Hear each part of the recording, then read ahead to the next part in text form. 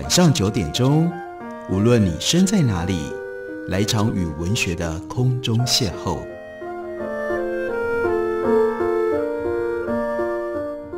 杨照谈书，邀您一同遨游文学世界，认识古今中外的经典之作。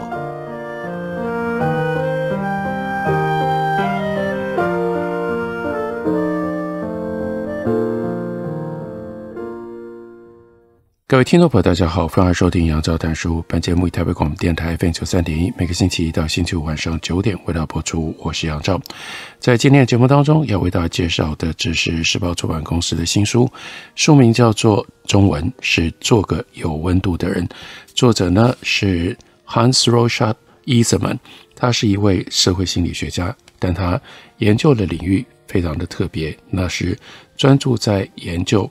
人类社交体温调节方面，这到底是什么样的一种研究领域呢？就充分的显现在他所写的这本书。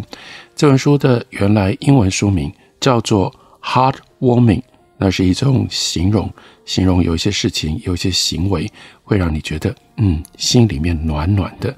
但是我们在平常用 “Heartwarming” 或者是在中文里面说暖心，我们倒是很少认真的去追究。那所谓暖到底是从哪里来的？温度从哪里来的？所以这本书另外有一个副标题叫做 “How Our Inner Thermostat Made Us Human”。如果直接翻译的话，那就是我们的。内在温度计如何使我们变成了人？那就是像一个人一样。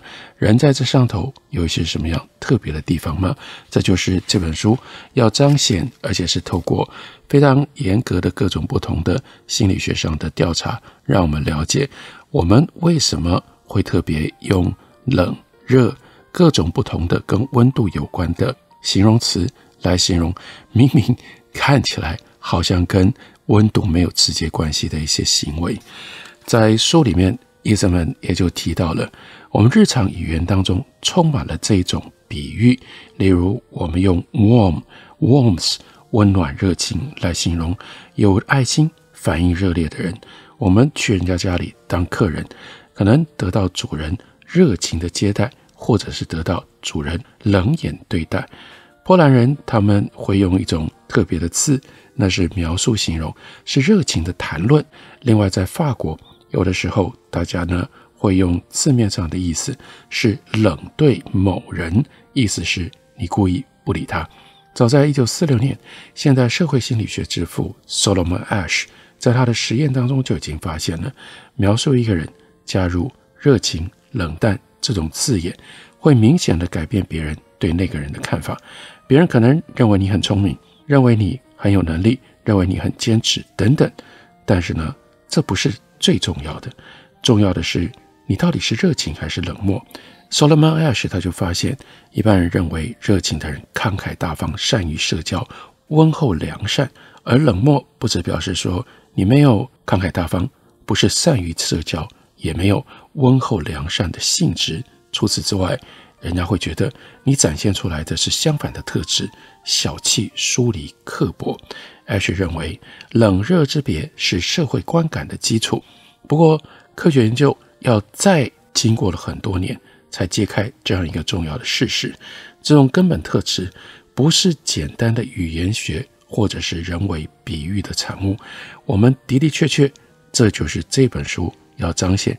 有的时候会让我们吓一跳的一件事情，我们是在生理上实质的感受到人际关系当中的冷暖，然后我们就看到他讲了一个重要的实验，那是二零零八年研究人员呢在耶鲁大学的宏伟建筑当中做了一项简单的实验，一位自愿参加的大学生走进心理系的大厅，他在那里遇到一位女性研究助理，说要带他去四楼的。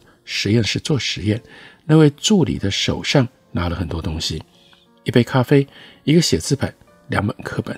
所以两个人呢一起走向电梯，在电梯里面，这个研究助理呢就请学生暂时帮他拿杯子，好让他可以在写字板上随手记下一些东西。不久之后，电梯门打开，他们一起走出来。那位学生不知道是实验的第一部分其实就做完了。进入到实验室，研究人员会请他读一段文字，那段文字呢是描述一个虚构的人 A。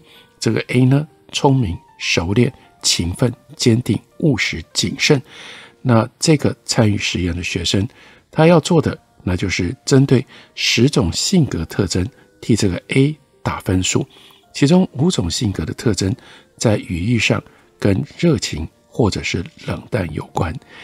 那到底是在做什么样的实验呢？大家是不是很好奇呢？这项实验呢，找了四十一位大学生参与，但他们不知道的关键是，研究人员把他们分成两组，在电梯里面。一半人被要求拿着的是当地咖啡馆买来的热咖啡，另外一半人呢拿冰咖啡。这个小的差别要实验是，你在电梯里面，也就是被要求去读那段文字之前，你拿的是热咖啡还是冰咖啡？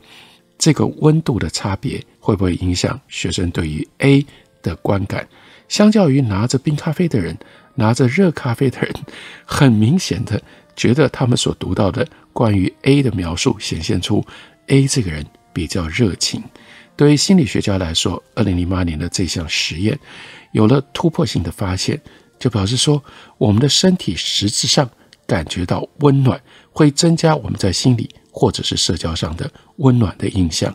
这个实验从此敞开了研究的大门，包括了伊斯曼他自己的研究，就是要研究温度跟社交性彼此之间的关联。暂时拿着一杯热饮，就足以让我们觉得某个人比较善于交际，比较值得信赖。那是不是也会让我们觉得自己可以比较容易跟他亲近呢？不是身体上的亲近，而是心理上跟社交上的亲密。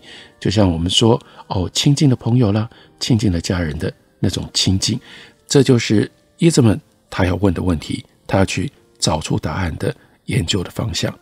电梯里拿咖啡的实验做完一年之后，伊兹曼他和荷兰 Utrecht University 的指导教授一起发表了针对延续着前面所说的那样的一个实验的变化的版本，设计了一个实验室的研究。当实验人员假装他忙着在笔电上安装问卷的时候，就请参与者帮忙拿一个杯子，半数参与者给他们的是装热茶的杯子。另外一半呢，当然就是握着装冰茶的杯子。那无论是在电梯上还是在实验室里，让人拿着一杯热饮或者是冷饮，直接就影响参与者对于他人的看法。实验下一步就请参与者看一份基本的评估量表，那是画在一张纸上，非常简单的 Venn diagram。每一个纹饰图呢是由两个圆圈所组成的，在量表的左端。两个圆圈几乎没有接触，在量表的右端，两个圆圈几乎完全重叠。在这两个极端之间，两个圆圈的重叠面积是由左到右一直持续的增加。所以干嘛呢？就请参与者假设其中的一个圆圈代表他本人，叫他选。然后呢，还要选另外一个圆圈，代表的是实验人员。想要知道。参与者画出来的这两个圆圈会不会有重叠？如果有重叠，重叠的比例是多少？用这种方法可以进行量化。我们已经知道，人际关系更好，也就是更投入、更忠诚、更融洽的人，通常会把圆圈画的比较重叠。那实验真的就显示了这件事情：拿过热饮的人所画的圆圈，比拿过冷饮的人所画的重叠要更多。于是就可以量化的推论，热饮组让他们觉得自己跟对方，也就是进行实验的人员更加的融合融洽。简言之，他们感觉到自己和实验人员比较亲近，只不过是因为实验人员给了他一杯热饮，他甚至没有喝下去，他只是握在手里，就增加了那个温度，竟然就改变了他的 perception。改变了他的心理的感受。再下来，再做相关的实验，结果发现参与者甚至会开始使用更多的词汇来描述自己跟他人的亲近感。研究是这样进行的：在刚刚所提到的 Utrecht University。那这个时候呢，不是请参与者握住热杯或者是冷杯，而是让他们待在一个暖气房。暖气房呢，二十二度到二十四度；冷气房另外一边那是十四度到十八度。哎呀，真的差蛮多的。然后呢，让他们看一段西洋旗的红旗跟白旗移动的影片，然后再下来就请参与者描述他们看到的状况。待在暖气房的参与者，他看到的什么？他描述的是：哦，一只红旗跟在其他旗子后面。后来吃掉了那些旗子，他先吃下左边的第二颗棋子，然后吃掉右边的棋子。接下来他往后移动，又吃下另外一个棋子。他再往前移动，又吃下了一个棋子。那可是待在冷气房的参与者却是说：小兵跟皇后去冒险。但皇后不喜欢他，自己走了，这对白方不利。他的行为引发了冲突和问题。小兵只是个蠢蛋，他放任皇后消失。后来大家都很不满，连骄傲的国王跟小兵都很不满。不管是待在冷气房或者是暖气房，参与者很容易采取拟人化的叙述。不过这里面差别在哪里？待在暖气房的参与者，他使用比较多的动词。来描述，而待在冷气房的参与者就比较喜欢用形容词，所以让我们了解这件事情，这本书重要的一个观点，因为我们常常以为语言的譬喻是身体冷热和社交冷热之间的关系塑造者，这其实不是事实。我们的身体真的会因为温度的感受而决定你眼前所看到的人。他跟你之间的关系、社交关系、社交距离，你会如何认知跟感受？这的确是让我们对于自己如何对待他人非常惊讶、非常有意思的一个研究的方向和研究的结果。我们休息一会儿，等我回来继续聊。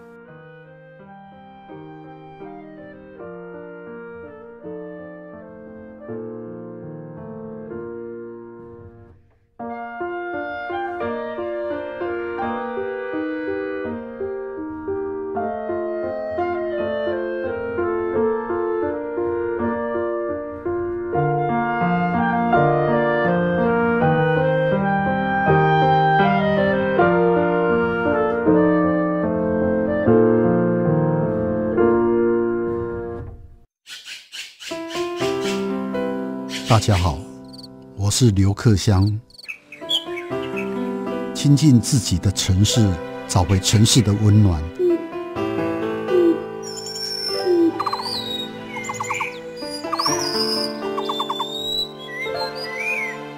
听见台北的声音，就在台北广播电台，FM 九三点一，AM 一一三四。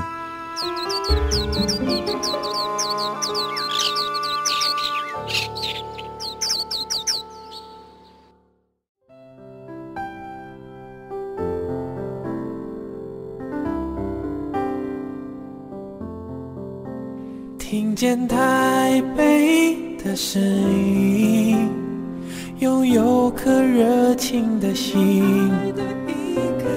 有爱与梦想的电台，台北广播 FM 九三点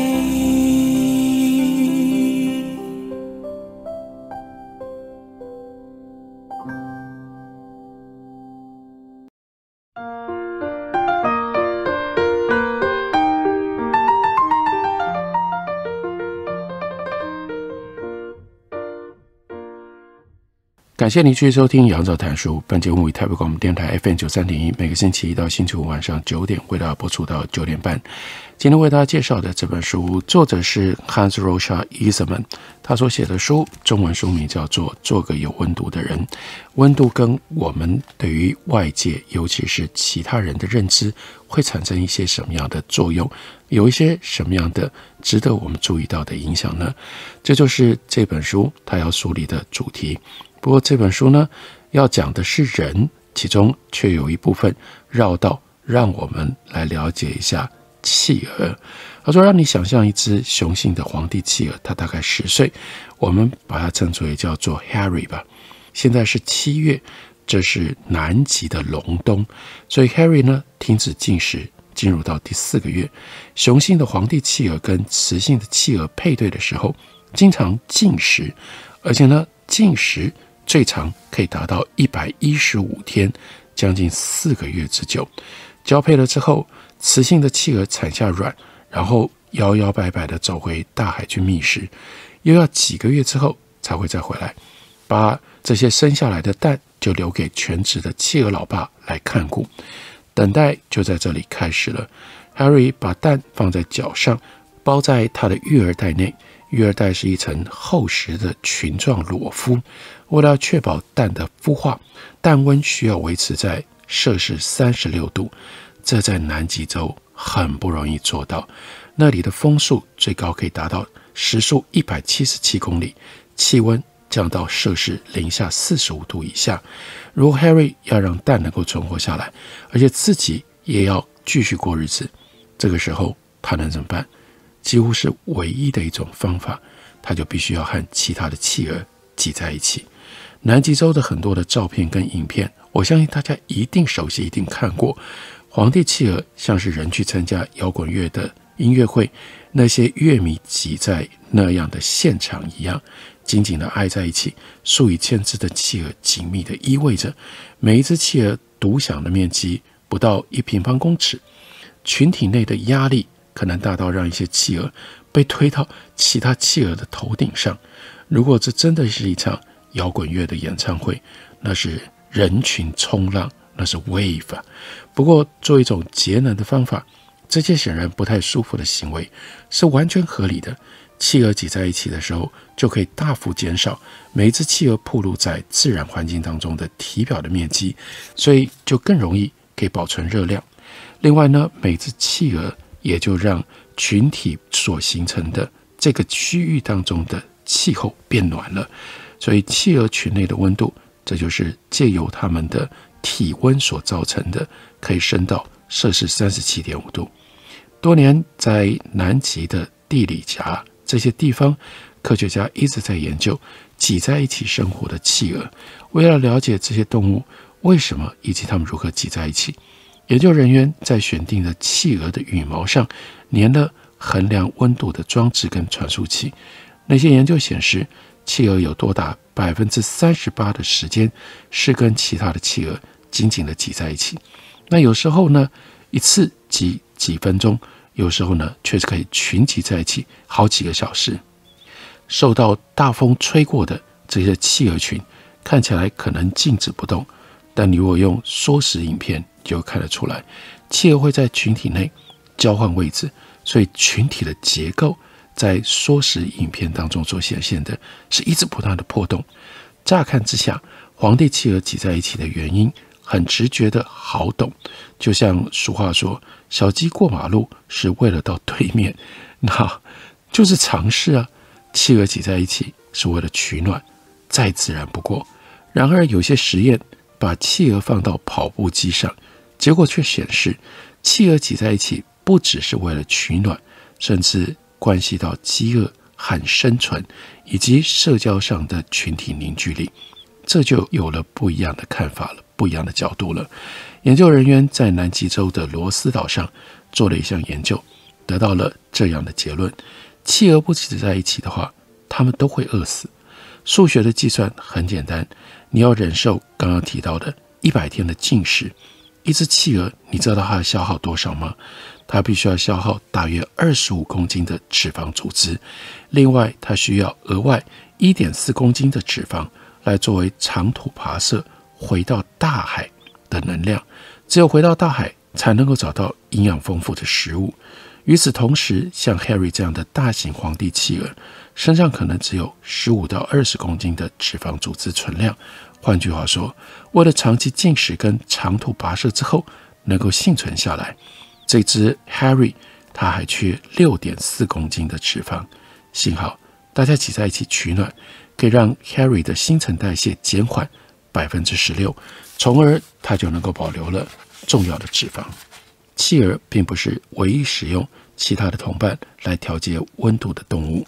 例如说人，大家可能看过自行车的比赛，一群自行车手在路上奔驰，他们会形成一个长条状的自行车队，那就是所谓的主车群，而且有特别的名称叫做 peloton。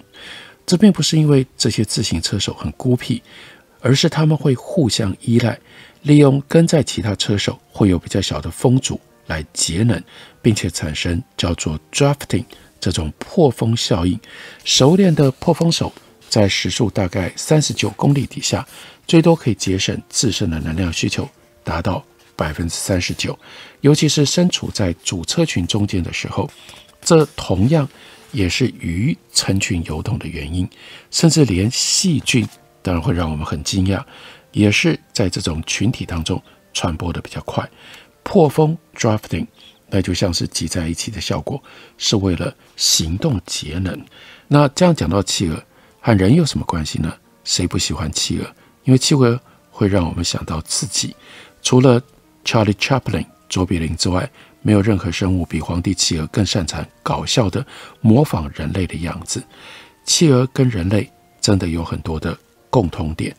在二零一二年，剑桥大学的科学期刊叫做《Polar Record》发表了英国南极探险家兼博物学家 George Murray Levick 他在一九零一到一九一三年南极考察的时候，他所写下来的笔记。那这些笔记为什么要在一个世纪之后才发表呢，因为那些笔记连 Levick 他自己都觉得惊世骇俗。那笔记里面到底讲什么？那就是讲年轻单身的雄性跟雌性企鹅看似异常的行为，包括恋尸癖、性胁迫，以及对于年幼企鹅的性虐待和身体虐待。Levick 没有注意到自杀行为，但是其他人注意到了，例如说。德国导演非常有名的赫佐，他在二零零七年拍摄的南极洲纪录片《冰旅纪事》当中，有一段显示一只企鹅离开其他的企鹅，在南极的内陆自杀，自寻死路。那所以，在纪录片当中，追踪企鹅群在摄氏零下五十六点七度的低温，跋涉了一百一十二公里，前往繁殖地，挤在一起保护它们的蛋。那深入探索，我们会发现，Levy 跟 h 走记录的行为令人不安，因为那些都是反社会的行为。更重要的，企鹅界是一个社交活络的圈子，就像人类社会一样，会发生那样一种反社会的行为，这让人非常感觉到不安。然而，更进一步的，你就会发现，企鹅的反社会行为跟温度。是有非常密切的关系的。在科技出现之前的人类社会，对于他人的依赖和企鹅的行为非常的相似，因为我们也会利用各种不同的方式挤在一起。只不过今天中央供暖系统让我们不需要再挤在一起取暖。你可能不是只靠自己从头开始打造家中的供暖系统，而且万一供暖系统故障了，这个时候呢，你会打电话给专家求助。企鹅跟人类之所以会展现出社交行为，这是这本书非常重要的一个论断跟对我们的提醒，那就是社交相当程度上回到那样一个原始的情境底下，人跟企鹅一样是为了要调节体温，你必须要找到其他的人，借由其他人的体温来帮助你节省。你自己的能量，让你不会饿死，也让你不需要那么多的食物。作为恒温动物，保持我们的身体的体温是如此的重要，以至于到后来，我们就发展出来，为了要让一个小的空间里面有更多的人挤在里面，发出体温，互相保护彼此之间的温度，社交人跟人之间能够和平相处，再重要不过。所以从这个角度，我们才真正了解，要做一个有温度的人，尤其是在社交上，可以让别人感觉到 how warming 这样的一种各种不同的行为，原来是来自于人类最根本、最根本的需求，保有我们的体温。这是非常有意思的提醒，让我们再换另外一个很不一样的角度，了解人，了解我们自己，了解我们的社交行为。这本书书名就叫做《做个有温度的人》。感谢你的收听，明天同一时间我们再会。